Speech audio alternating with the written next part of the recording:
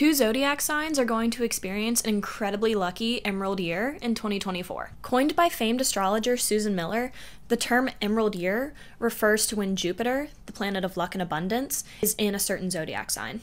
The ones experiencing an emerald year are the ones who may have the most abundance in all aspects of their life. For 2024, Jupiter will be in the signs of Taurus and Gemini, blessing these lucky zodiac signs with an emerald year.